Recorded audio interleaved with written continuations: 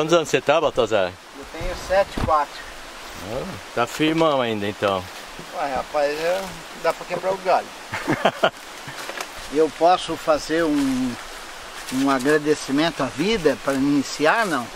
Pode. Porque, porque essa, essa entrevista sua, eu já sei que ela vai longe, né? Eu estou em Brasília, quando eu falo que eu estou em São Francisco, ah, eu vejo Chica Abelha. Eu tive com a minha irmã recentemente, é, é, eu vejo Chica Abelha, todo mundo vê Chica Abelha. Na ordem dos advogados, o pessoal se refere a você.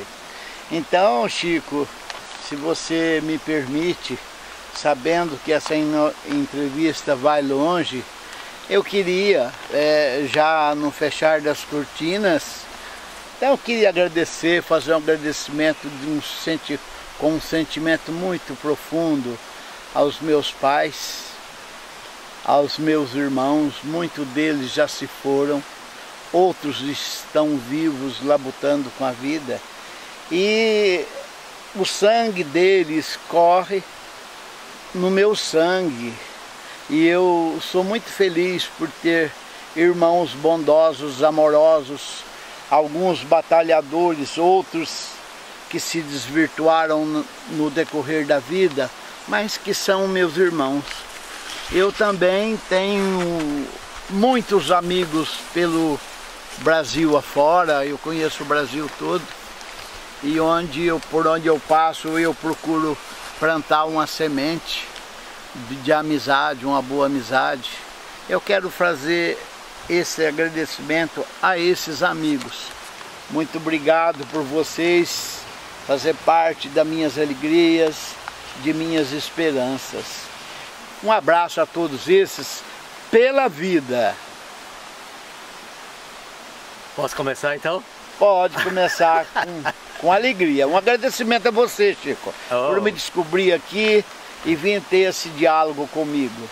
Então, o Baltazar, nós estamos aqui em São Francisco Xavier, na pousada Murmúrio das Águas, que eu até agora não sei, é de sua propriedade? É minha.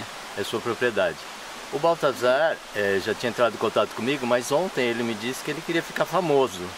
Eu falei assim, puxa vida, então vamos lá dar a oportunidade do Baltazar ficar famoso. Ainda mais que o Baltazar nasceu na roça e é um poeta. O, o Baltazar, eu gosto de começar sempre lá do comecinho, né? Nós não vamos começar do útero, mas talvez você possa ter algumas histórias que seus pais contaram para vocês. Mas eu quero saber o lugar que você nasceu, é, o seu nome completo, a casa que você morava, como foi sua infância. Vamos voltar para lá? Vamos voltar e eu falo com isso. Você pode observar que eu me arrepio, porque é, a infância marca toda a nossa existência, né? Eu nasci em Muzambinho, pelo menos lá fui registrado. Minas Gerais, né? Minas Gerais, sul de Minas Gerais, uma região muito bonita. E a cegonha passando por lá me deixou cair em Muzambinho.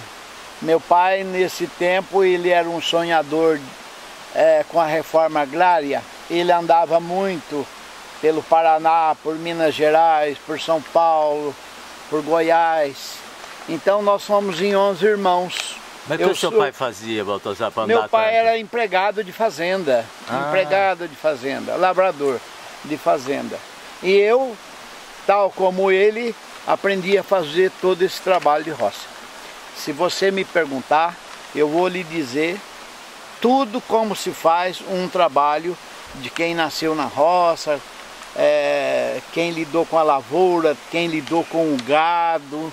Mas eu, quem... você ficou até que idade morando na roça? Eu fiquei até mais ou menos até por volta de 58, nasci em 47. Então você cinco, é, nove, eu fiquei, nove anos. É. Depois disso continuei, porque meu pai mudava de fazenda a fazenda então eu fiquei até quando eu comecei a ir para a escola, já com mais de 12 anos de idade, e um menino de muita fé, fé religiosa mesmo, sabe? Fé religiosa, aquela fé inocente.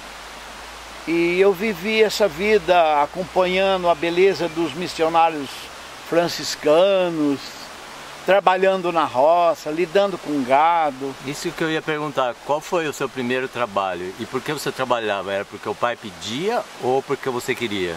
Era uma realidade da época. O filho era de fato para ajudar a família, né? Uhum. Então, é, à medida que você ganhava um ano a mais, você já carregava a enxada, você levava a enxada para a roça para o seu pai, você levava a, o caldeirão de comida para o seu pai, e quando você levava, você já ficava trabalhando. O meu pai preparava uma enxadinha menor, com um cabo menor, e eu ficava lá trabalhando. Nisso aí não existia salário, não existia recompensa nenhuma. Mas havia uma alegria de estar com o pai, né?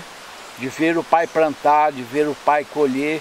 Existia uma alegria nessa história, um sofrimento paralelo. Um sofrimento paralelo, né? A vida era muito dura, muito difícil, né? No, onde que a vida era dura? No que? Na roça sempre foi difícil. Na roça sempre foi difícil. As moradias eram precárias é, os recursos é, de proteção eram escassos. Então eu me lembro que no Paraná, por exemplo, eu morei no meio do mato, né? Em casebres feitos de palmito. E ali você tinha convivência com os animais. Ali à noite você via onça, você via porco do mato, você via cobra, passeando pelo telhado, né, coberto de palmito, de, de folhas de, de palmito, de palmito. Né? A nossa cama era feita de estaca, a, o colchão era, era é, folhas de palmito colocadas um ao lado do outro tal. Aquilo era a nossa cama. Isso foi por volta, eu nasci em 47. Em 51 eu morava no sertão de Perinópolis, Goiás. Você imagina o que era é, Perinópolis em 1951. Já em 1952 ou 53, eu morava no sertão do Paraná, onde havia as derrubadas de Peroba. Peroba. Peroba, Pinhal, não é? Eu participei dessa vida. Né? Eu dormia com meu pai nos galpões, eu tinha um outro irmão mais velho, que já faleceu. É, então eu vivi essa vida sofrida. O Baltazar, né? vocês eram quantos irmãos? Nós até o final nós somos em 11. E que número que você era nesse? Eu era o número 2. Ah. O número 2. Então, então você teve que cuidar de irmão mais novo? Eu tive que cuidar de irmão mais novo e ajudar no trabalho de, da família, né? Todos os irmãos, no começo tinha que trabalhar, não havia outra, outra, outro caminho. Tinha que trabalhar. A escola ficava em, em segundo plano, não estava no projeto das famílias de antigamente, sobretudo as famílias que eram, vamos dizer assim, na minha condição, famílias miseráveis, né? Famílias miseráveis, que viviam numa verdadeira escravidão e subjugada à sua própria sorte, né? Uhum. Eu vivi essa vida. Eu me lembro muito bem de quantos e quantos dias eu ficava ali jogado, eu, minha mãe, meus, meu irmão mais velho, a, o terceiro filho que é uma irmã, e até um menorzinho, é, de, até então quatro. Eu ficava ali jogado na estação da luz. O meu pai nos deixava ali, entre tantos nordestinos, também todos jogados, muito sujos, com crianças é, sujas, doentes. E eu fiquei ali na Estação da Luz em São Paulo é, por várias vezes, por várias vezes. Era um menino feliz de ver tanto barulho, de ouvir tanto barulho, tanto carro. O trem. Eu me, o trem, eu tenho uma poesia, eu tenho uma poesia que não está nesse livreto, essa poesia está para sair nos próximos livretos que eu vou publicar. Mas você não tem ela na cabeça? Não tenho, não. não tenho ela na cabeça, porque eu faço uma, uma descrição daquela realidade e depois, para finalizar, eu faço uns versinhos mas eu não tenho ela de cor. Mas eu, depois eu poderia Tá recitar para você. Ô, mas o Baltazar, por que que o pai saía de um lugar e ia para outro? Você lembra? Meu pai era um homem renitente, um homem de uma personalidade muito forte. Ele deixou alguns traços dessa personalidade a todos nós que somos filhos. Ele era muito renitente e era um pouco, eu sentia que ele era um pouco revoltado com aquela realidade. Uhum. Porque então ele vivia questionando sobre a reforma agrária. Naqueles tempos falava-se muito de reforma agrária. O meu pai sonhava com um pedaço de terra. E o único pedaço de terra que ele conseguiu foi é, no final da vida, já com mais de 80 anos. É, essa sorte foi proporcionada por um irmão que eu ainda tenho vivo e a ele eu devo muitos agradecimentos porque eu quase nada pude fazer para o meu pai e para minha mãe. Mas ele, ele fez, é, esse, cumpriu esse grande papel de filho bom. O Baltazar, pelo que eu estou entendendo, então, seu pai, quando via talvez alguma injustiça, ele já se revoltava e, e, e arrumava as trouxas e queria ir para outro trabalho. É ele isso? queria ir para outro trabalho. Qualquer discussão. É isso mesmo. É, qualquer discussão que ele tinha com o patrão, com o, com o dono da fazenda, ele se rebelava, uhum. não aceitava a humilhação tá. e ele partia em busca de outro trabalho.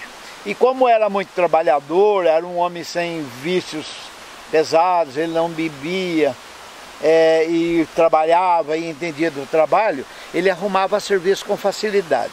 Certo. Mas era um homem rebelde. Uhum. Essa, esse traço de rebeldia eu a tenho com bastante orgulho do meu pai, viu? Tá certo.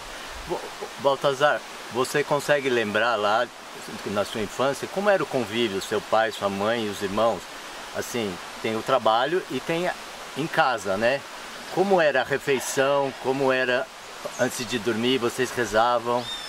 É, nós tínhamos esse hábito, né? Eu, meu pai chegava da roça, é, eu com o meu irmão mais velho disputávamos quem iria lavar os seus pés, as suas pernas na bacia. Né? É, botava água para esquentar no fogão a lenha, botava numa bacia, água numa bacia e tal, e a gente lavava os, as pernas do meu pai. E eu lembro dele me fazendo cantiga de ninar em seu colo. Era uma coisa muito gostosa. Mas era uma vida de miséria, né? A comida era uma coisa precária. O arroz, o feijão, né? Não sei se você conhece, o feijão envelhecido ele dá um caruncho. A gente comia o feijão com o caruncho e tudo. Da mesma forma o arroz. E era aquilo, né? Era muito difícil. A alimentação era deveras precária. Ah, eu fico até pensando que seja também por uma questão cultural, porque morava em fazenda, em propriedade alheia, é possível que sobrasse lá algum lugar para um plantio de uma horta, para criação de um animalzinho, às vezes criava um porquinho em propriedade alheia mas a alimentação era precária.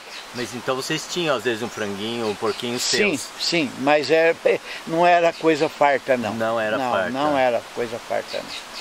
Tá o pai contava história para vocês de Pedro Malazarte, assombração? Meu pai não, meu não. pai era um homem dedicado ao trabalho e ele chegava do trabalho, eu acho que ele é, ele queria o descanso, não era muito de fazer isso não. Ele não, não, não conversava não. muito com vocês? Não, então? não, não. Ele tinha os intervalos de brincadeira tal, mas meu pai era um homem mais reservado. A minha mãe era mais divertida, minha mãe era mais divertida, né? Mas ambos eram carinhosos à sua maneira, né? À sua maneira. É, é todos eram muito carinhosos e muito preocupados com a gente. Mas eram muito filhos, né? Muitos filhos. Na medida que ia chegando mais um, chegando mais um, é, eram muito filhos. É, eu lembro de minha mãe, é, quando tinha a chance de ter uma, uma comidinha melhor, ela se sentia feliz em sentar todos no chão e ela pegava um pratinho e botava no meio da perna da gente, assim no chão. E ela ficava feliz, feliz de ver a gente comendo, é, às vezes lá uma comidinha melhor, uma coisinha diferente. Diferente, né? Vocês tinham iluminação elétrica não? Não, nada disso. Nesse tempo não. Nesse tempo, em 1947 que eu nasci, em 1951 quando eu fui para Goiás, eu tenho vagas lembranças de abrir porteira. Nós fomos em um caminhão, o fazendeiro saiu de Muzambinho, foi para Perenópolis, Goiás. Nós fomos de caminhão, nós fomos abrindo porteira. Não se sonhava ainda com, a, com essas rodovias asfaltadas. Era um andando na estrada de terra e abrindo porteira e cozinhando à beira de rio. Não se chegava é, é, em Perinópolis em dois, três dias. Era um caminhão da época levando é, os retirantes para é, fazer a roçada na floresta, para derrubar a floresta para o plantio, né? Para a criação de gado, o plantio de café e no Paraná, lá para o Goiás, mais para a criação de gado, né? Uhum. Você lembra a primeira vez que você viu dinheiro na sua mão?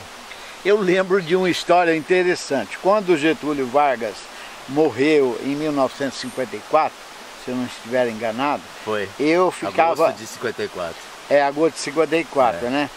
Então eu fiquei meio, meio preocupado, porque então eu já tinha sete anos e nessa, na data da morte de Getúlio Vargas, eu já não morava mais no sertão, onde o meu pai matava Sussuarana. Ele tinha uma Eu tenho, É, era costume da, da ocasião matar. Sim. Matar os animais. Matava para comer ou simplesmente matava, né? Não tinha essa Porque estava ameaçando a criação, os porcos, os cachorros, é, galinha. E tinha, o, o pessoal tinha o hábito de matar passarinho para comer, matar tatu para comer, matar capivara, matar paca né, tinha esse hábito, era uma forma de, de alimentar. E era um recurso né, natural. Então, quando eu fui para morar numa, num arraial chamado Centenário do Sul, que hoje é cidade, ali na, no, fica no norte do Paraná, mas a, a, a cidade se, se chama Centenário do Sul, nas proximidades do rio Paranapanema. Então, aquela região tinha muita uva e muita manga. E eu pegava um cesto de manga de algum proprietário, um cesto de uva e saía para vender. Era difícil vender, porque toda criança vendia uva. Hum. Havia muita uva e muita manga. Então era difícil vender. Mas então eu lembro de duas notas. Tamandaré Almirante Tamandaré, que era uma nota de um real. Não é um real. Um cruzeiro. Um cruzeiro. Um cruzeiro. E a do Duque de Caxias, que era uma nota amarela de dois cruzeiros. Quando morreu Getúlio, eu na minha infância lá, sem escola, sem nada, é, eu fiquei muito preocupado, porque quem fazia o dinheiro na minha cabeça era Getúlio Vargas, era o presidente.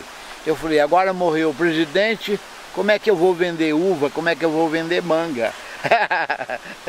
Essa é ótima, viu? A cabeça da criança, né? A cabeça é a gente, a criança, a criança guarda as amarguras da vida e guarda os momentos de felicidade, né? Então, quando morreu Getúlio, para mim eu fiquei muito preocupado. Não vai ter dinheiro mais. Morreu o presidente. Ô Baltazar, você veio da roça, mas você se expressa muito bem. Né? Você faz esses poemas que eu não li ainda, mas eu tenho certeza que são interessantes. É... Como é que foi essa transformação? Olha, eu, eu fui um menino assim de espírito. É, é... O pai e mãe, eles eram letrados? Eles sabiam? Não, minha mãe é analfabeta, meu pai era semi-analfabeto. Então. Porém, o meu pai era um homem muito inteligente. Ele era de, de, não tinha cultura alguma, mas era um homem é, de grande percepção da, da realidade, né? Da realidade. Então eu me apegava muito à religião, eu tinha uma fé inocente. Vocês tinham uma Bíblia então? Tinha uma fé inocente, mas veja bem, eu fui aprender a ler é, depois dos 10 anos, 12 anos, eu não sabia ler. Eu não sabia ler, né? É, eu copiava as coisas das latas de banha, de alguma coisa, eu, eu pensava que se eu desenhasse aquelas palavras, eu iria aprender a ler, né? Eu então, acho peraí, que até... você copiava antes de saber ler e escrever? É, é. eu copiava palavras é, que eu via, que eu já sabia o que significava. Eu copiava, eu pensava que assim eu fosse eu fosse aprender a ler, né?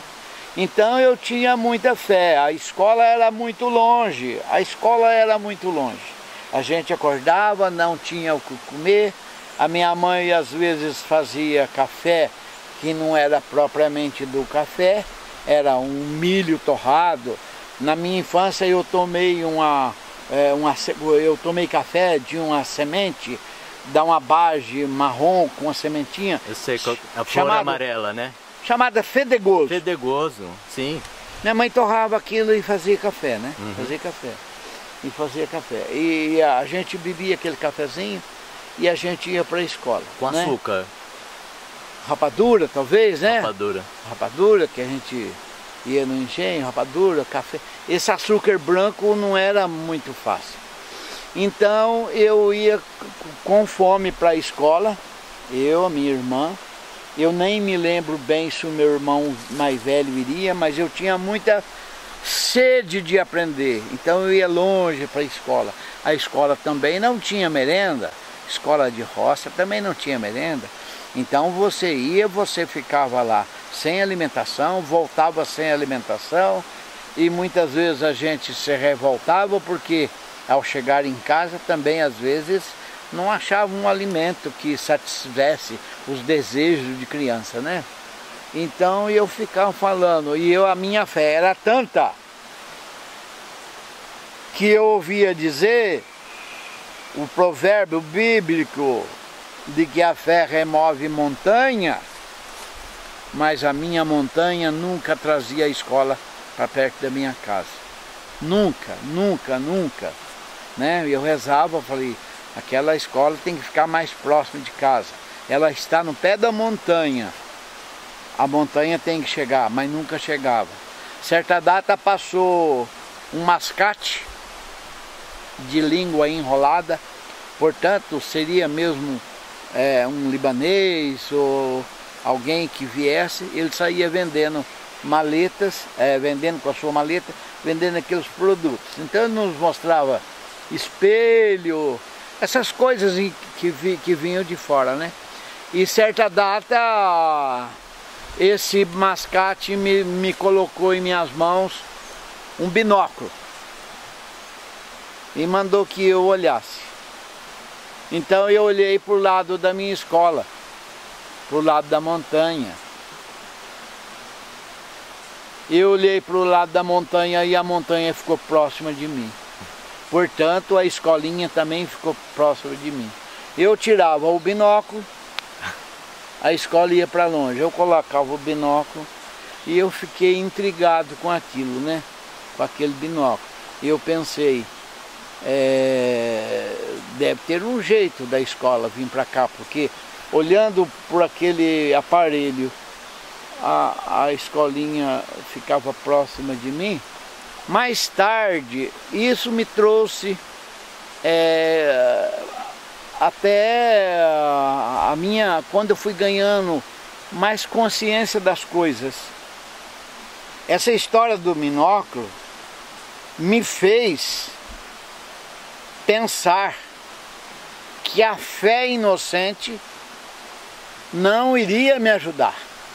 Ela iria me acudir o lado psicológico. Mas quem iria me acudir seria a razão e a ciência. Né? Outro dia eu escrevi uma frase, está por ali colada, que, a, que o que sustenta a minha fé hoje é a razão e a ciência. A razão e a ciência pode me nortear pela vida. A fé religiosa é para atender a minha fraqueza humana e a fraqueza de toda a humanidade, né? É para atender a ignorância intelectual da humanidade, né? Mas você Eu... não acredita que exista uma fé que não atenda a essa ignorância? Que não seja a muleta da ignorância?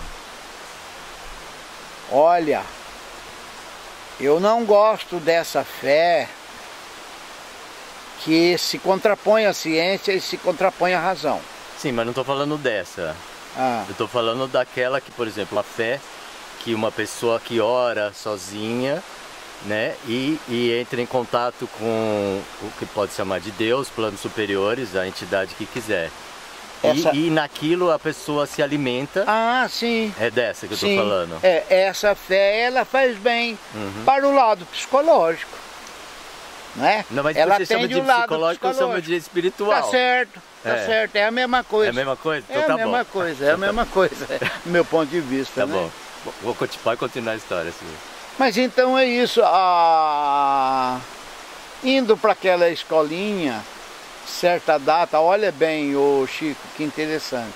Olha o meu espírito rebelde aí indo para a escolinha distante, distante, distante. Por iniciativa sua ou a pedido dos pais? Não, eu, o, o meu pai, ele queria também, né? Mas é, não era uma coisa primordial para ele, não era, né? Eu que tinha sede de sair daquela miséria, sair, né? Não tinha televisão, não tinha nada, mas eu via na cidade. Eu quando eu ouvia, por exemplo, um missionário franciscano falar, aquilo, aquilo elevava a minha alma aos céus, porque falava com propriedade, falava com sabedoria, falava de Deus. E de Deus, Deus era a coisa mais rica para a gente, né? Então eu queria a salvação, a salvação da minha alma no céu. Eu teria todos os prazeres que eu não tinha na terra, no céu. Hum. Então eu queria ir para o céu. A minha fé haveria de ser suficiente para me levar para o céu.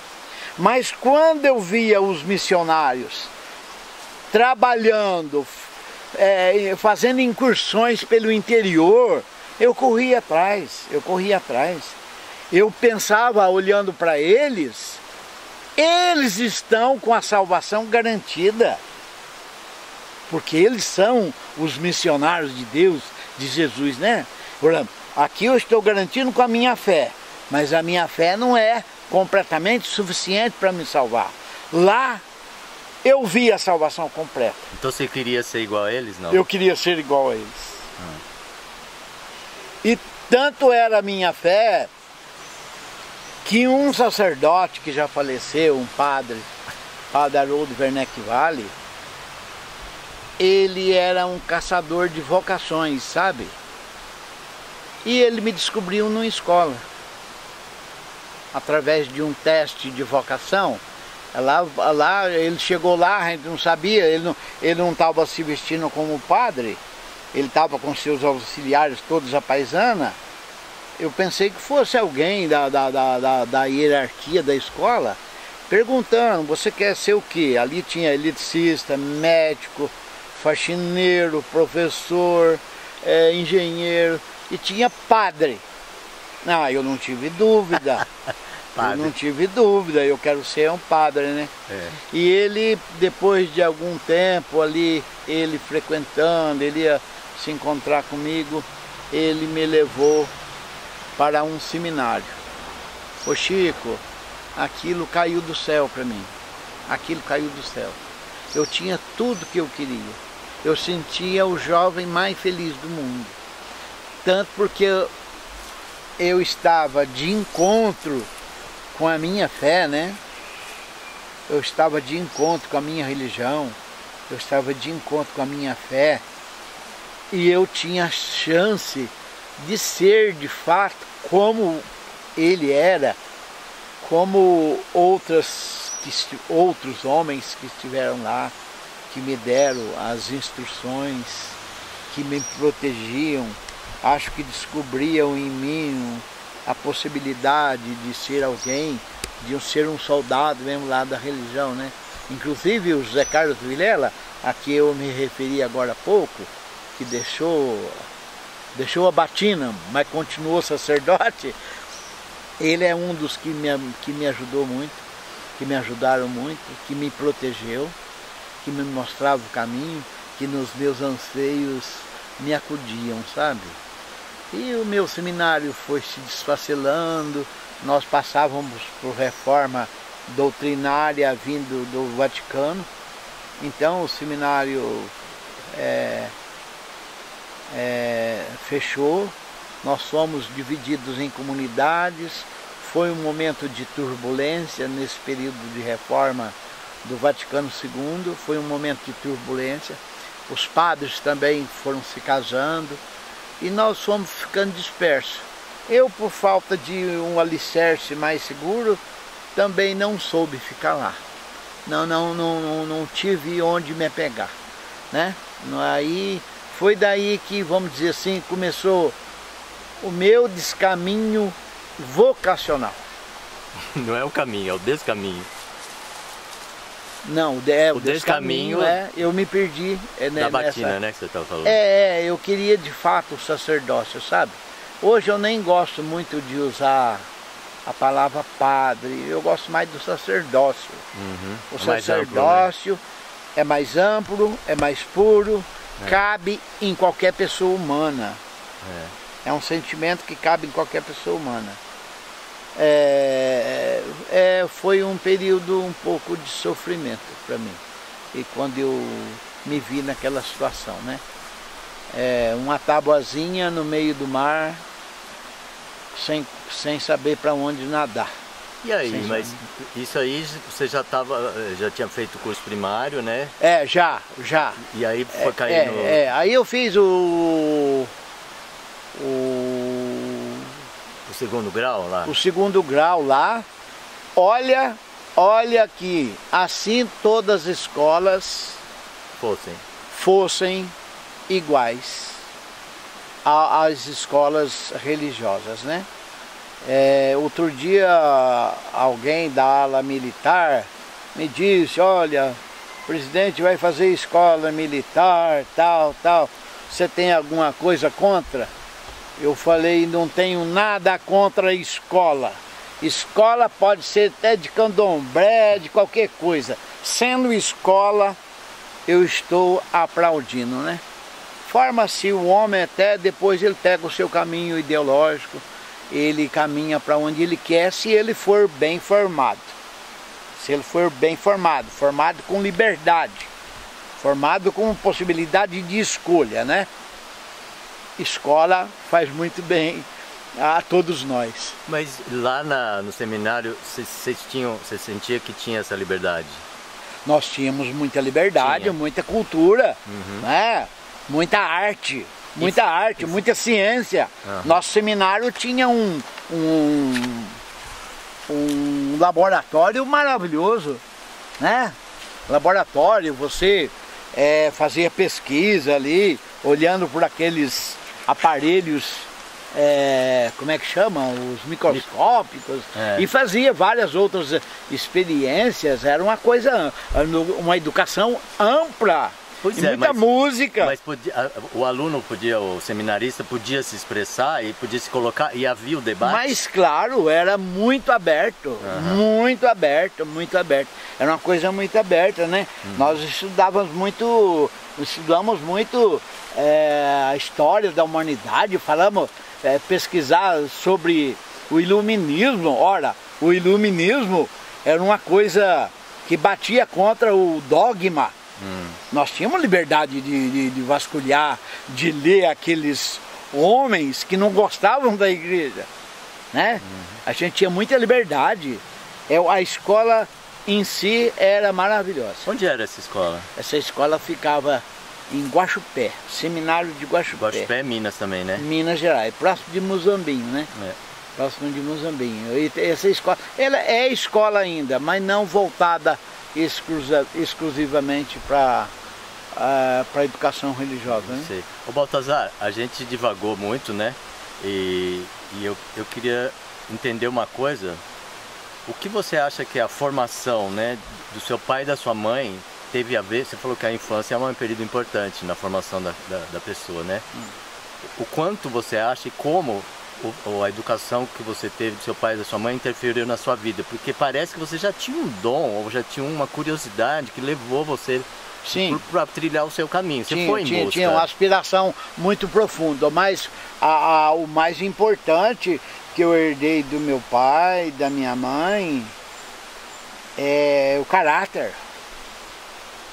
Meu pai era um homem bravo, seguro de si mesmo um homem de espírito forte. E isso marcou muito. Esse, esse traço, é, eu acho que atingiu todos os filhos. Né? Você vê isso nos seus irmãos também? Eu vejo isso nos meus irmãos também. Né?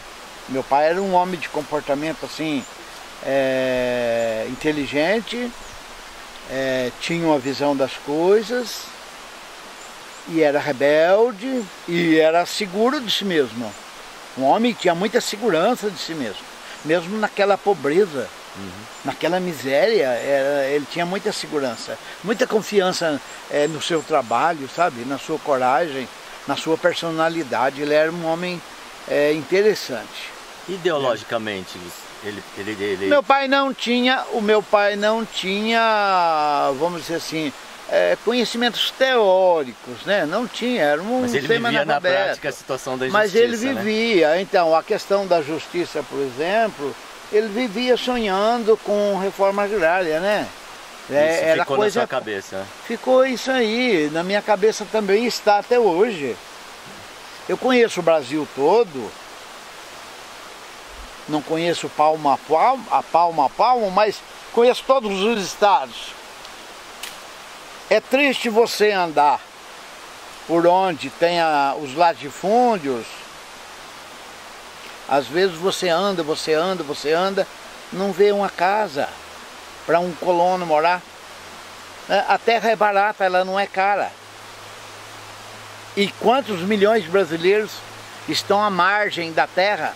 Nasce aqui, são filhos da pátria, Brasil, e não tem terra, não tem acesso à terra. Isso é uma injustiça que vai demorar por muito tempo. Vai demorar por muito tempo, porque você sabe que o capitalismo é, ele é desumano, né? Ele é desumano, ele é agressivo, ele é destruidor, né? Ele vilipendia a mãe terra, ele não permite a, a divisão do bem, natural da humanidade que é a terra, né? Ele impede isso aí, o acesso do agricultor à terra, né? Tem que ficar nesse sistema de escravidão. Isso é muito triste para nossa pátria, né? E quando eu digo pátria, eu lembro de mãe, né? Eu lembro de mãe. A mãe, se ela tem dez filhos, a minha mãe tinha onze, ela conhece os filhos que tem ela sabe o que um gosta, o que o outro não gosta, o que aquele gosta mais e assim por diante. Ela acode o mais necessitado.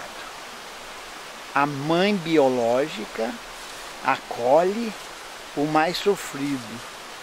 Mas a minha pátria favorece os que estão na opulência. Precisava favorecer aquele que é mais sofrido, aquele que está lá na terra, né? Aquele que é filho, é biologicamente irmãos, nossos irmãos, né? Eu fico triste com essa realidade, muito triste. Eu, quando eu viajo, eu deixo de visitar shopping, não vou em shopping, vou pouco nos meios urbanos, eu gosto de conhecer a realidade do caboclo lá, aquele que tem a mão dura, calejada, é, é com aquele que eu me identifico bastante, sabe? E ver tanta injustiça, viu? Tanta injustiça. O, o Baltazar, você estava falando de pátria e você falou que lembra de mãe. Pátria vem de pai. Pátria vem de pai. Será que não está faltando país... um pouquinho de mátria pra é, gente? É, máter, né? É. é. Mas veja bem, o país é o nosso pai. A pátria, porque ela está no, no, feminino, ela é nossa mãe, né? É, parece é, que é, é, é, mãe. É, é, né? Ela está no feminino, ela, ela é nossa mãe, eu acho. A pátria fica mais aconchegante. Fica Mas achei legal, essa comparação foi boa. O Baltazar, então, nós estamos aqui em São Francisco Xavier, Hoje você tem uma pousada aqui. Me conta aí, desde que você saiu do seminário, que o seminário meio que é, acabou, né? E, e, como é que você veio chegar aqui? Olha, depois do seminário eu me sentindo um pouco desamparado. Desamparado. Tristemente desamparado. Eu fui recolhido por um grande sacerdote e cadê o pai e a mãe nessa hora? Eles já haviam ah, morrido? Não, não, não, não. Os pai, eu já estava distante de casa. Eu já Você via... não queria voltar para aquela realidade? Não, não, não, não. Eu fugi de casa, na verdade, né? Eu ah, fugi você não casa. contou isso aí. Eu queria sair daquela situação de miséria. Então eu fui trabalhar é, em outro lugar onde eu não ganhava nada, mas tinha lugar para dormir, tinha um café da manhã, tinha um prato de comida no almoço. E tinha educação? E tinha. Não. Ah, isso não era não, seminário? Não, não tinha escola. Não, não. Ah, Estou falando no... lá atrás ah, ainda, lá né? Eu me rebelei lá na minha família, eu me rebelei, não tinha o que comer, não era possível é, dar comida a todos, era uma coisa muito escassa. Então, eu, certa data eu cheguei da escola, não encontrei comida, tá bom. Noutra data eu também não encontrei comida na minha casa com fome. Então eu me rebelei. Me rebelei. Na primeira vez eu fui para casa da minha avó, que era uma pessoa muito pobre, muito pobre, muito pobre. Né? Eu fui para minha casa da minha avó. Numa segunda data, eu briguei com meu pai, uma situação cruel, dura, era uma coisa muito ruim. Que idade você tinha? Ah, eu 14, 15 Ah, por aí, né? Eu acho que por aí, uns 14 anos. E eu fui trabalhar. Primeiramente eu fui trabalhar em fazenda, mexer com gado, sem salário. Né? Acordava 4 da manhã, ia buscar o gado lá no meio do pasto, capim gordura. Hoje nós usamos bermuda, naquele tempo era calção, né? Um calção velho, pé no chão. Pé no chão. Você, é, pé no chão, o capim gordura cheio de gelo da geada, os, nossos, os meus pés ficaram todos quase que congelados. Eu botava os pés na bosta de vaca para aquecer os pés. E eu trabalhava ali com alegria, porque eu tinha o café da manhã, um pedaço de bolo, leite, tinha o leite para beber da vaca. Tinha depois um prato de comida na casa do patrão. A comida era mais farta, não é? É, tinha mistura, carne, tinha alguma coisa. E depois para dormir, né? Então eu dormia lá num rancho, tomava banho no rio, não existia, nem para o patrão existia chuveiro. Eles tomavam banho de, macia, de bacia. Eu tomava banho na bica d'água. O sabão, você lembra qual era? O, o sabão de cinza, né? É. O sabão de cinza. Sabonete. Sabonete era guardado em cima do guarda-roupa, só para lavar a cara, só para lavar o rosto. Não, não podia usar sabonete no corpo todo, porque ele tinha uma função de perfume. Ele tinha uma função de perfume. Tá bom, aí depois da, dessa que eu fui... É, Escapou de casa, fugiu. Fugi, a, é, fugi de casa, eu fui trabalhar numa máquina de beneficiar arroz. Sabe o que é isso? Sim. Você que pega aquela saca de arroz. Descasca. É, põe lá para descascar. Eu trabalhava, por tamanho. eu trabalhava de dia e de noite. De dia e de noite. Porque nos intervalos, nos intervalos você dormia. Ah. Você botava lá duas sacas de arroz, a máquina continuava trabalhando você e você com um sono terrível, você dormia. Você dormia, vivia assim, mas vivia melhor. Porque tinha de comer. Tinha o que comer, tinha o que comer, né? É, é assim, foi, foi degradativo, é, foi assim, é, gradativamente, né? Gradativamente. Mas isso tudo É. na região que estava perto dos seus pais? Não sei que lugar era esse quando você saiu. Isso aí aconteceu, é, meus pais eram, moravam no mesmo município, né? Mas era da época também que quando a família era grande, ia se desgarrando, era uma coisa normal, Aham. Não é? O pai também dava graças a Deus, né? Meu filho Menos tá um para alimentar. menos um para alimentar. Mas deixa eu contar um, um episódio para você. Eu quando eu estava na escolinha da roça, é, eu ia com aquele sacrifício lá e a gente não tinha lápis, não existia a caneta que existe hoje, que é a caneta Big, né? Era a caneta tinteiro, não podia nem sonhar com a caneta tinteiro. É que lá era um objeto de luxo. As pessoas, os ricos da cidade, andavam com ela penduradinha aqui para exibir no bolso Símbolo de status, né? símbolo de status. Então, eu, certa data, eu fui para a escola e chegou um materialzinho, uns cadernos brochura, lápis, borrachinha quadradinha, branquinha assim, para ser distribuído. Mas a professora, ela distribuiu aos fazendeiros, a- ao- aos filhos e filhas de fazendeiro. E eu me rebelei. Ó, mas os, os filhos de fazendeiro não precisavam ganhar. Mas ela queria Agradar o, o agradar patrão, aos né? fazendeiros, É. agradar lá aos fazendeiros. E eu me rebelei. Nesse momento em que eu me rebelei, ela falou assim: Você quer experimentar o relho?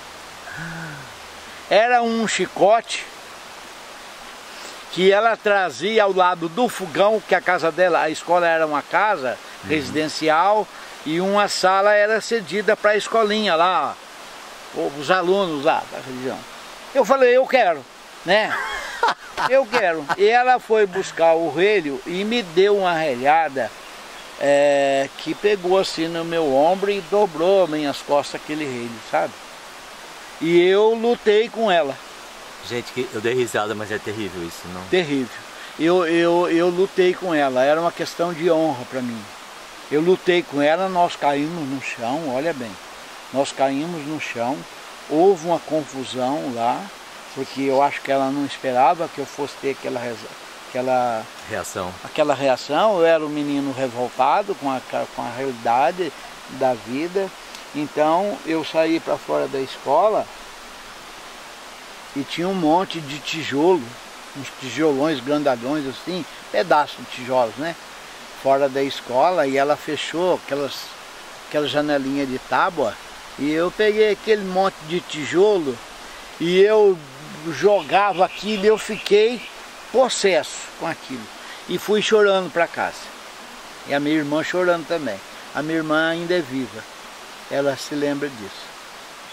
É, cheguei em casa, contei a história, né?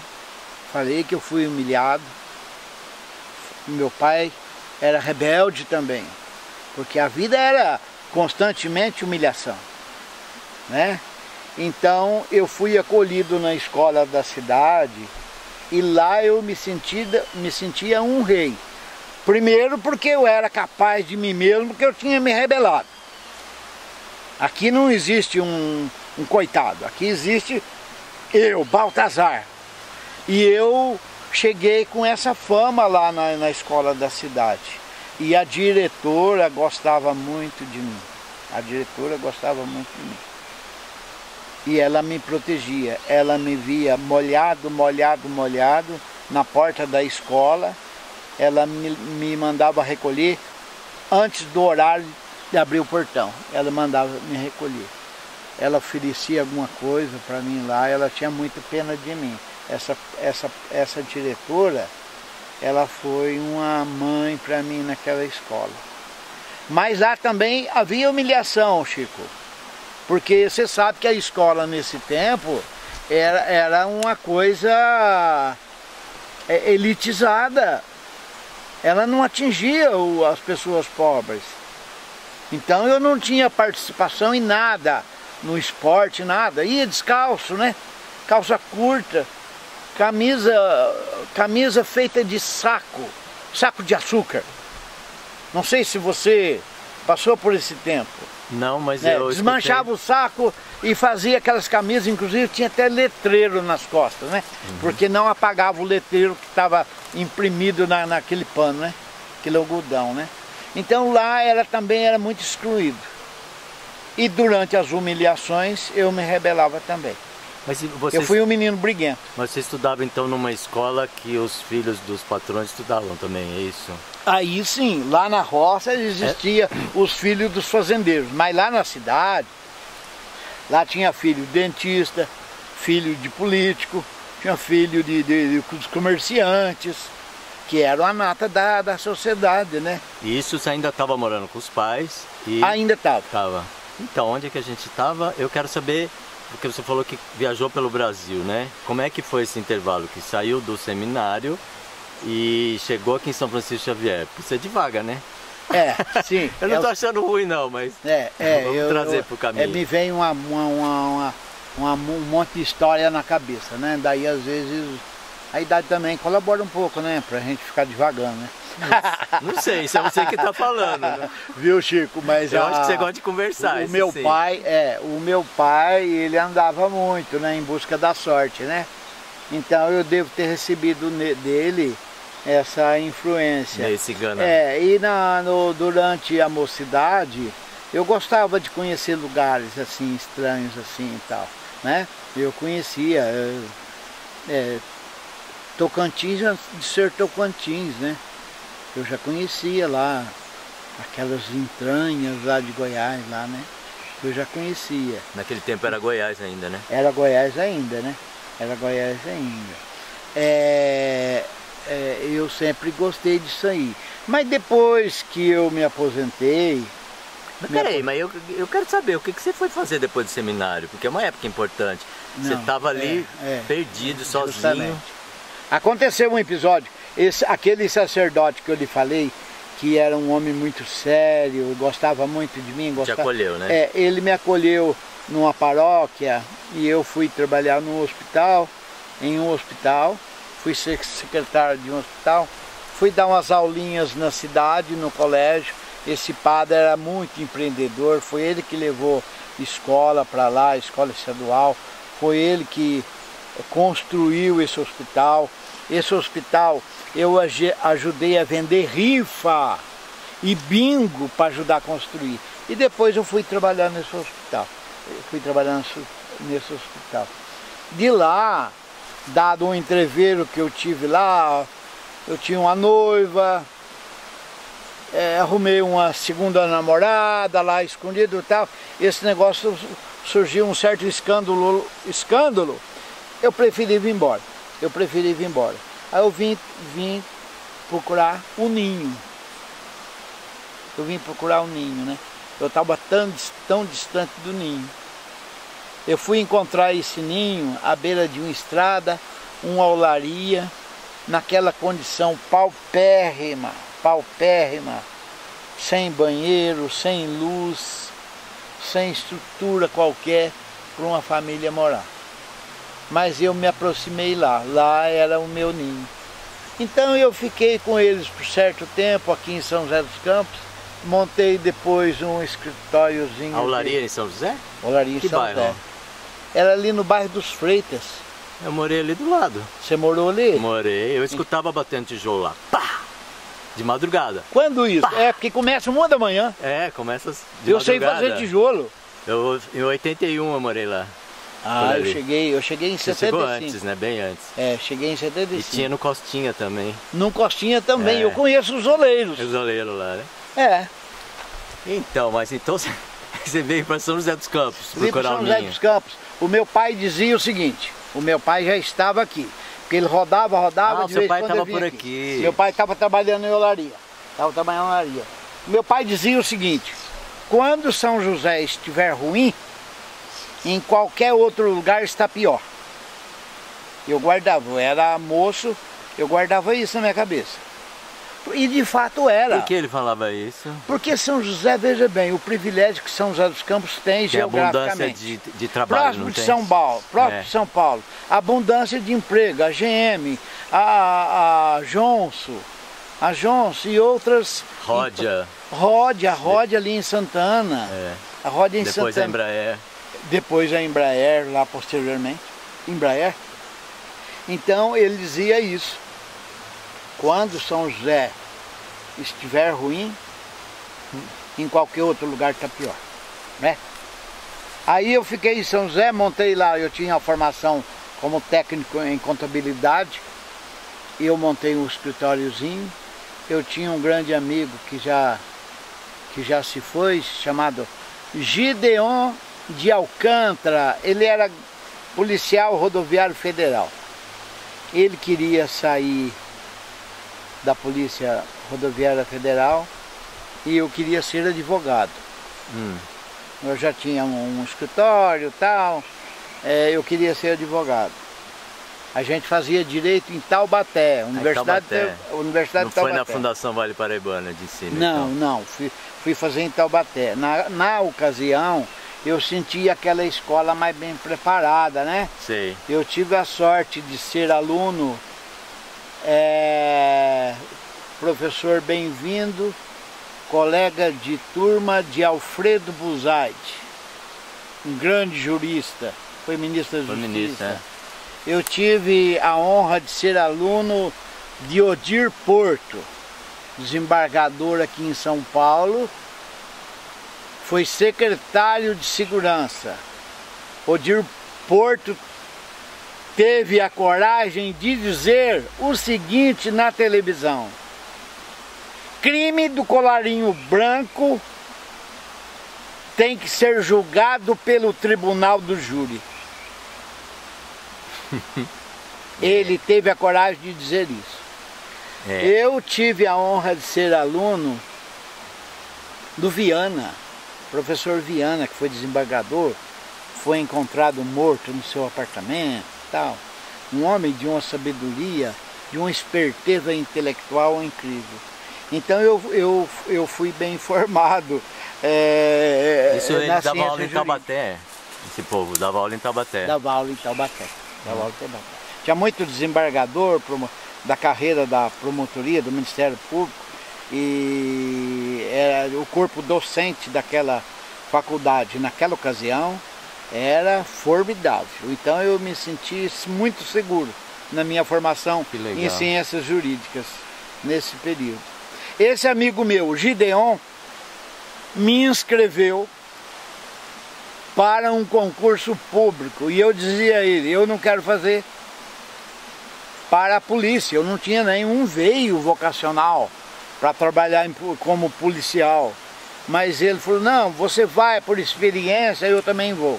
Ele deixaria de ser eh, policial rodoviário federal, iria entrar para a Polícia Civil de São Paulo e na sequência nós faríamos outros concursos, né? Aconteceu que ele não entrou, eu acabei entrando, querendo sair, sempre querendo sair. Esse país vivia de pacote em pacote, não me dava chance de fazer uma, uma- um empreendimento maior na vida, um projeto Planejar maior. a longo prazo, né? É, aí não deu. Aí acabei me aposentando lá. Também não foi ruim não. Lá você conhece, você conhece o homem, parece que na sua completude, né? Você conhece o lado ruim, o lado bom, você conhece o porão social. As pessoas me questionam muito, você é rebelde, você é renitente, como é que você é, é, convivia com a corrupção? Aí eu dizia o seguinte, olha, a corrupção na polícia, ela é corrupção de porão e de tostão. O policial faz a corrupção do porão social e faz a corrupção do tostão. O político faz a corrupção do milhão e a corrupção do salão. Porque em rodadas de uísque, e pisando em tapetes é, é, persas, eles praticam a grande corrupção, né? Então, e a corrupção, ela, ela campeia todas as camadas da sociedade, né? Eu acho que nós hoje, a nossa sociedade hoje, é, ela é muito corrupta. Muito corrupta. Penso eu. Ô Baltazar, e esses é, livretos que você escreve são poemas, são frases, são eu histórias? O que, que é isso? Ô Chico. Que eu não li, aqui. você queria que eu lesse, mas eu faço questão de não ler, eu quero que você fale deles. Ah, eu não quero, tá. eu quero ter a impressão através de você. Tá Depois eu vou ler. Depois você. você vai ler. É. Tá bom. O que, que, é isso? Então, isso aqui é o seguinte, é... eu sempre tive, mesmo na escola, eu escrevia com certa desenvoltura. E o que eu é, escrevia na escola, geralmente era selecionado pelos professores. Ah, o Baltazar tem um veio assim, tal, tal, tal. Né? Então isso aqui eu não escrevi é com, eu digo aqui o seguinte, olha, este saquinho contém cinco livretos. Foram escritos com espírito de bandeira branca, sem compromisso ideológico ou literário. Não tenho essa preocupação. Eu peço para as pessoas comprar e dar de presente para alguém para ajudar o escritor a dar a volta ao mundo. Tem um pequeno poema, soneto, não sei como é que pode chamar isso aqui, que faz um resumozinho, Chico, da minha vida. A minha vida é um saco. A minha vida é, é um saco. saco com, com os é, poemas. É, é, isso é um saquinho com os saquinho. livretos. E eu escrevi assim para fazer a apresentação desse singelíssimo trabalho. Não, não cabe ler isso agora? O que, que você acha? Eu acho que esse cabe, né? Então, Porque ele é pequenininho. Vai né? lá. Então tá bom, a minha vida é um saco. No saco de minha vida tem um moleque inocente, tem um crente, um ideal em sua frente, um rebelde adolescente. Tem no saco um prato vazio e a fome de sobremesa. Tem o ódio, a esmola e o escravo tem o submisso santo, o insurgente revolucionário. Tem o sangue extraído do trabalho, o suor, o suor amargo sem salário. Desilusão tem no saco, sonhos desperdiçados, um Melquisedeque roubado santo expedito quebrado. Muita coisa tem no saco. Sol ardente, sal amargo, em feridas de amargura. Um pouquinho de loucura. Tem lembranças com pedrinhas de doçura. Cartas e livros tem no saco carregados de ternura. Concluindo, é um saco de leitura. que legal. Tem humor e, e, e, faz todo sentido pela história que você contou da sua vida, é, né? É, é, isso aqui eu acho que... De uma certa forma resume, né? Resume a minha vida, é. resume a minha vida, né?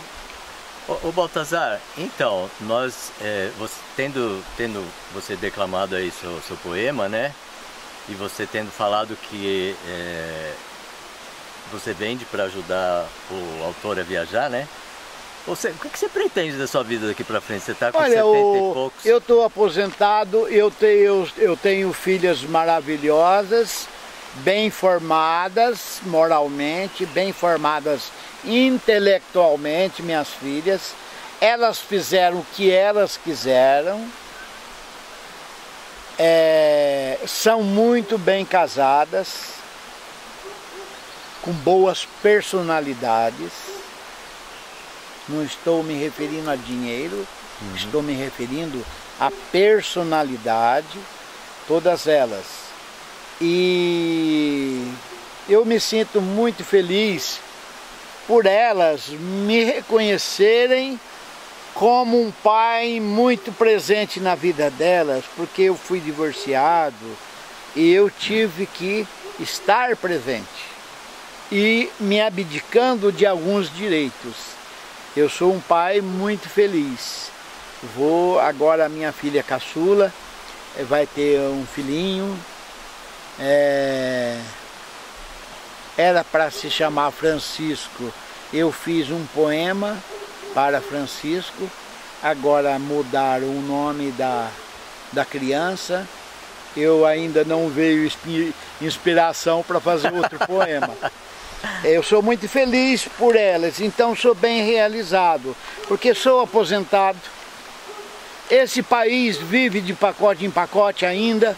Nós estamos numa crise é, terrível política agora, não é? Eu me sinto assim um pouco seguro de sendo aposentado pela Secretaria da Educação do Estado de São Paulo. E o ano passado e esse ano eu gostaria de estar na Europa. A pandemia me fez um paredão que me impediu. Mas eu conheço o Brasil todo, indo de carro, sabe? Ando naqueles barcos da, da, lá da, da região amazônica.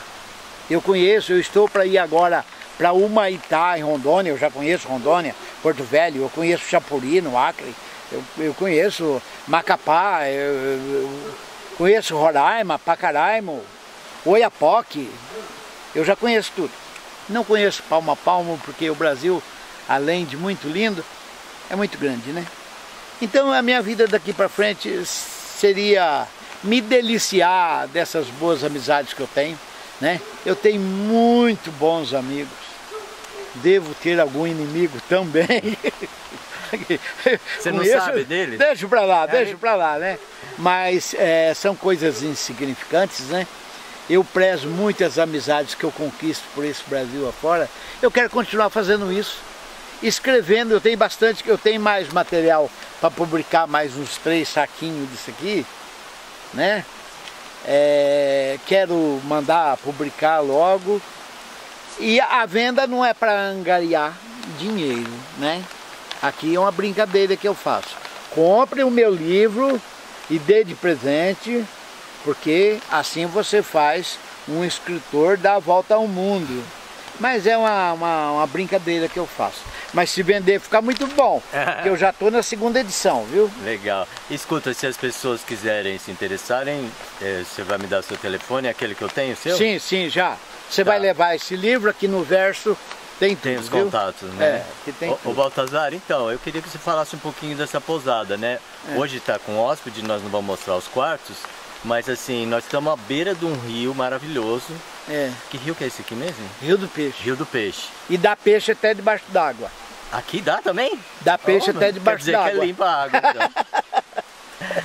e aí a gente podia mostrar um pouquinho. Eu queria fazer uma cena com você sentado. E aí a gente vai lá com o Milton, ver se ele toca uma musiquinha pra nós, pra gente encerrar, né? Aquela... Aquela... Como é que fala?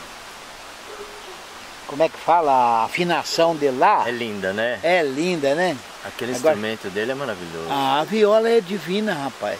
A viola é uma coisa divina. Eu me apego muito bem a viola, eu não sei tocar nada. Eu me apego muito bem ao violino, ao piano e a viola. E a viola. Bandolim é muito bom. Bandolim é muito bom, né?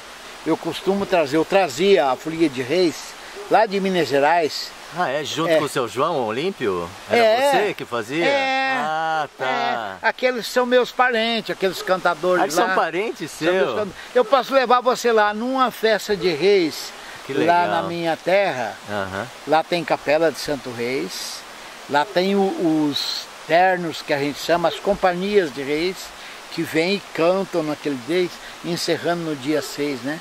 Encerrando Isso, dia faz 6. a festa de Santo é, Reis. É muito bonito. Agora veja bem, o Chico, nós estamos, é, a sociedade nossa está ganhando um espaço fundamentalista religioso aqui no Brasil.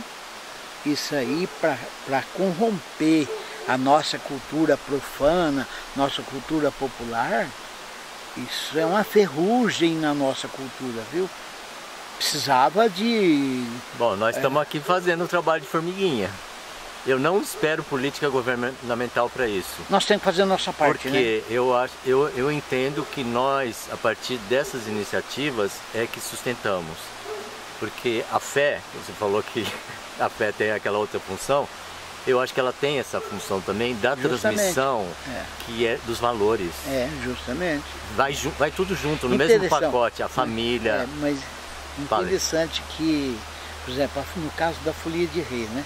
A folia de reis, o meu nome Baltazar está ah, vinculado, né? Baltazar, né? O meu nome lá em casa tinha Baltazar, Gaspar já morreu. Olha. E tem o Belchior que ainda está vivo, né? São os três reis magos. Nós somos muito ligados. Então você é ligado. Agora, além de ter essa ligação religiosa, né?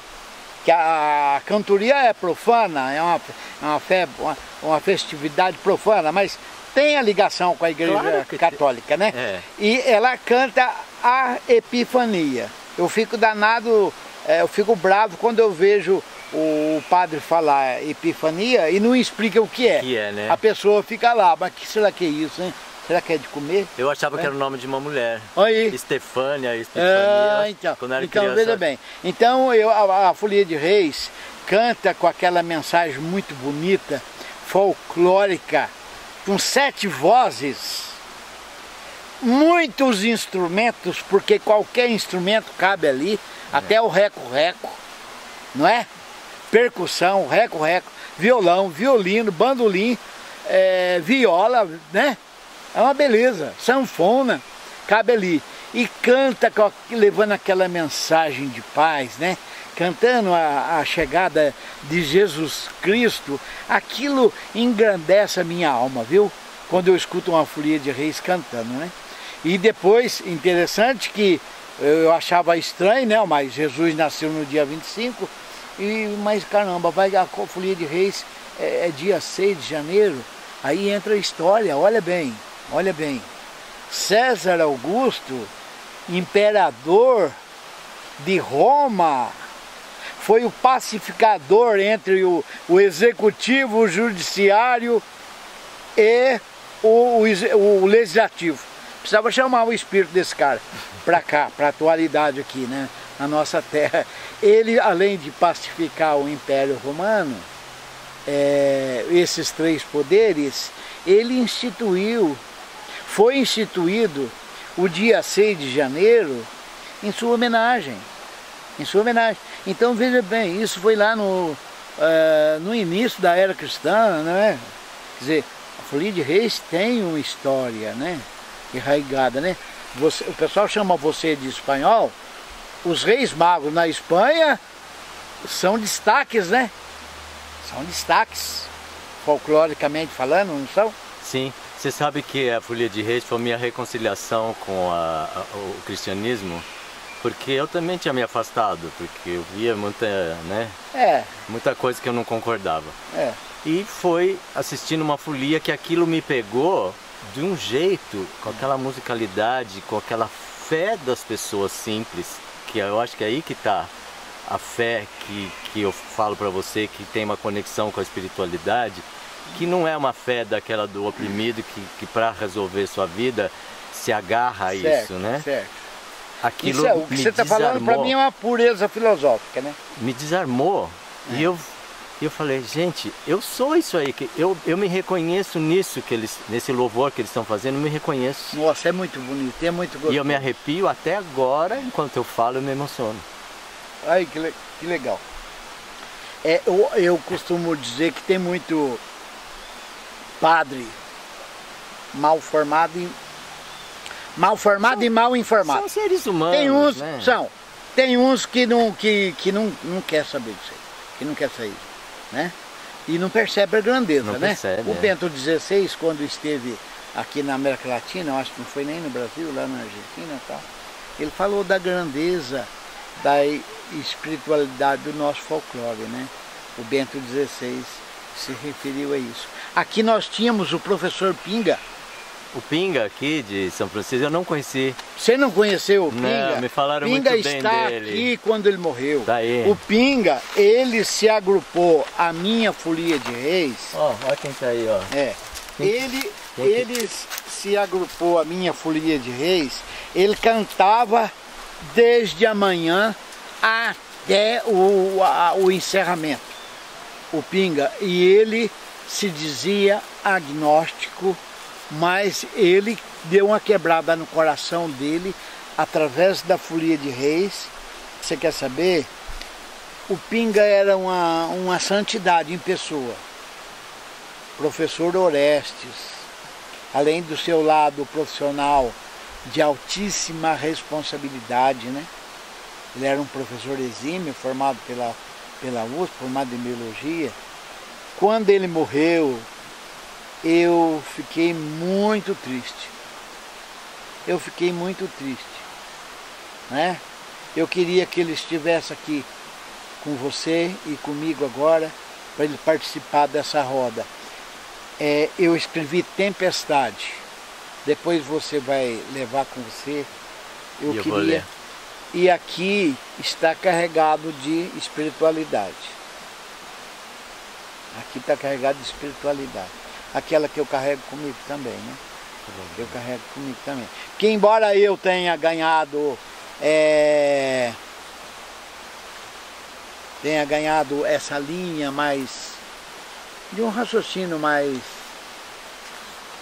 É, eu penso assim, um raciocínio mais puro é, em relação à fé e tal. É, eu ainda sou muito sensível a essas questões. Né? Hoje nós estamos carregados de religiões por aí e está faltando espiritualidade. É tanta igreja e pouca espiritualidade.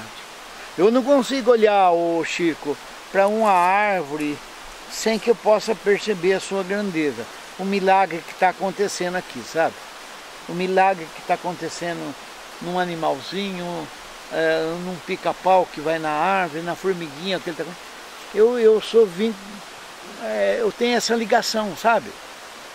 De olhar uma fruta, ficar admirado de ver a fruta. Eu que ando lá pelos sertões, lá rio trombetas, rio madeira, que as beiras lá, vendo aquelas frutas silvestres que as crianças comem, né? Que faz aquele sucro. Que milagre é, que coisa, que milagre é a vida, né? Como, como é que pode ter alguém com, com, esse, com essa capacidade de destruir as coisas? Né? Destruindo a vida, né? Você vê um pequenino animal lá, que coisa mais linda, né? Que coisa mais bonita, os passarinhos, os peixes, né, Chico?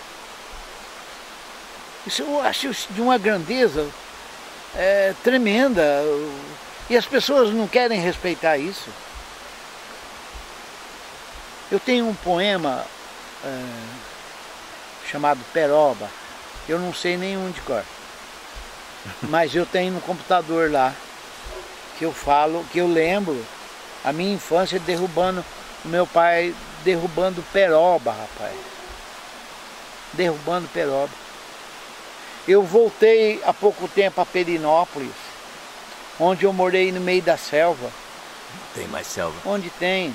Você vai no Paraná, você não acha uma árvore de peroba. Não tem. O homem é, devora. Né? E, é, o homem já tem essa vocação, esse caminho corrupto, a alma corrupta, né? Nós já nascemos assim, né? Com essa possibilidade de caminhar pelo mal, pelo bem, né? Mas eu fico pensando na minha pequenez intelectual que o capitalismo é, é, é um bom alimento para destruir as coisas. Né? O homem não consegue é, viver sem olhar para o cofre. A ganância. Não é? Ô Baltazar, onde que nós vamos parar? Vamos parar? Eu não sei, eu falo até amanhã, se você quiser. Não, falo mas você não de... faz um exercício de imaginação? Ah, você que sabe, aí depende aí. Se você quiser olhar aqui, porque. Ah, aí tem a resposta. eu, eu fiz para você. Tá né? bom. Eu fiz para você aqui porque eu não sabia a sua linha é, da, da, entrevista, se você quiser. Aqui está escrito? Se você quiser cessar aí a, a sua filmadora e dar uma lida. Ah. ah, porque aqui. Então, mas aqui são tópicos, eu quero saber, assim, porque eu imagino, por exemplo, que a gente vai ter que levar um, um como fala, um, um chacoalhão da mãe ah. natureza, hum. como já está acontecendo nessa pandemia, né? Hum. Esse chacoalhão vai ter que ser muito maior para a gente se dar conta de justamente isso que você estava fazendo, da nossa, falando, da nossa ganância que nos faz destruir a natureza para poder ter alguma coisa que nós nunca vamos ter e deixar a míngua uma grande parte da humanidade que sofrendo, como você falou, né? É assim que eu vejo. Só no momento em que a mãe natureza nos, nos igualar numa condição que a gente possa ver, puxa vida, eu nunca percebi, mas ele é meu irmão também. Ele é um igual. E aí nós vamos poder dar a mão. Ô Chico. É só assim, eu, eu vejo isso. Eu sabe o que eu penso? É, o homem, o homem, ele vai chegar num estágio da humanidade que a Terra estará num processo de exaustão. Sim, isso mesmo. Quando estiver num processo de exaustão, o homem estará em choro e ranger de dente. Haverá de chegar a esse estágio. Só que o seguinte, o Chico, até lá haverá uma grande destruição. Até lá. Está tendo já, né? Já é, está acontecendo, é, né? O homem, ele não vai cessar o seu processo ganancioso, ele não vai cessar. Haverá aí uma, um grande prejuízo para a fauna. Para a fauna. Um bicho que desaparece, como reconstituir? É, a Terra vai precisar de milhões e milhões e milhões de anos para que novos seres reapareçam, né? Sob outra forma, é, com outra, outro jeito de existir, outro jeito biológico, não sei, né? É, mas até lá haverá muito sofrimento, que já está existindo, né? Aconteceu uma pandemia, as pessoas ficaram apavoradas na, nas grandes metrópoles, né? Mas já estão querendo voltar ao antigo normal, né? É. Parece que não aprendeu ainda, né? Pois é, né? O, o, dentro de um processo de exaustão, eu acho que tem que haver a, a partilha, né? Porque senão vai haver guerra, permanentemente guerra, né? É Destruição é da, da própria espécie humana, né? É, o homem há de cair nessa, nessa conclusão. Mas será muito tarde para a Terra, né?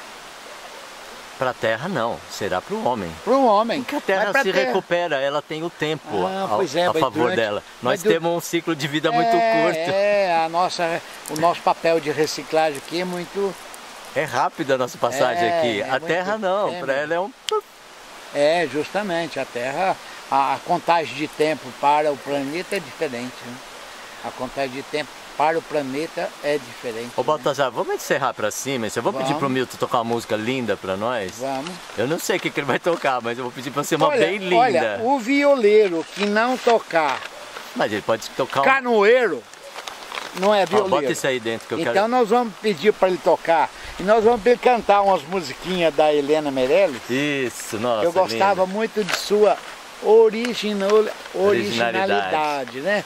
A, a, a Helena Meirelles lembra muito a minha tia. Hum. O, a, o, tipo físico, a rusticidade cultural dela. Então, e aquela viola ou violão a Helena Meirelles tocava, né? Eu não sabia, pensei que era só viola. Eu acho violão que violão, porque, ah, porque quem toca dá uns ponteados lá, é, conforme a música, são poucas notas, não exigem muita coisa, né? Estando afiado, tem música que Se você pode tocar. Se tiver emoção, tudo fica lindo, né? É, então. Vamos lá.